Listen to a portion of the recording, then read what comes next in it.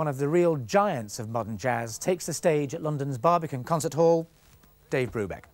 Britain is the first step on a trip that will take in nine countries throughout Eastern and Western Europe, and the geographical range of this latest tour is testimony to the enduring popularity and influence of a, of a man who for more than 40 years has made his own style of jazz composition and performance a legend in the world of music. A lot of uh, superlatives there. Dave, I trust you don't mind that. I didn't mean to embarrass you. But first of all, a question about when you came to the attention of the really wide audience. You'd taken a minority form jazz into the top 10 with Take Five. What did you lose by doing that and what did you gain? Well, uh, overall, um, if you have a piece like Take Five that most of the other jazz musicians of the world cannot play, and now today grammar school kids can play, you're going in with a challenge. And the entire album Incidentally, uh, Steve Race, who was a critic that didn't like me, uh, decided he liked me uh, at, shortly before this. Everyone knew this was a challenge. Uh, Columbia Records did not want to put it out because the whole album was so different. You, you didn't have all originals on one album, was the rule. You didn't have a painting on the cover. You didn't have time signatures that people couldn't dance to. So it was an album of challenge. And you mentioned time signatures there because you had noted also for your very complex rhythms. Yeah. What kind of, that suggests a foreign influence in your music, not just the mm -hmm. Afro roots of the blues. What, what were those foreign influences? Well, uh, 5-4 time, which would go back to Tchaikovsky, is one of the first classical usages of that. But these rhythms were used throughout Africa and India. Uh, Take Five was a great hit in Africa.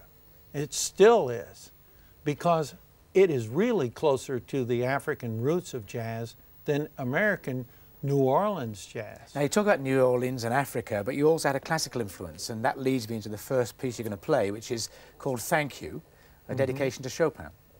Right. Please, please, please show us. Uh, I'd like to tell you about why I wrote this was uh, we were on tour in, in uh, Poland, and I decided to write themes for each tour based on the word thank you, dziękuję, of uh, wherever we were. And I'd been at uh, Chopin's house that day, wrote this in my mind on the train to the concert.